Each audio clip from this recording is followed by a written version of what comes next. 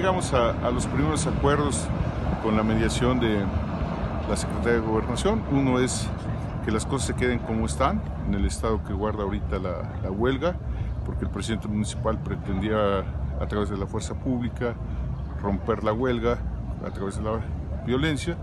No va a ser así y se reanudan las pláticas a las 4 de la tarde ya para llegar a los acuerdos finales. ¿Tendrá que venir? Tendrá que venir. Entonces, aquí nos vemos a las 4 de la tarde. Eh, te repito, todo está en orden. Hubo aquellos, algunos incidentes ahí con gente que mandó el presidente. La instrucción fue muy precisa de no caer en actos vandálicos. Y bueno, se mantuvo los servicios como es el hospital, como es la seguridad, como es la alimentación a, algunos animalitos ahí en los parques, se está cumpliendo, o sea, no hay ningún problema. Y ahorita lo, lo más importante es que el primer acuerdo es que se llegue se dejen las cosas como están en el estado que guarda la huelga y reanudemos pláticas a las 4 de la tarde.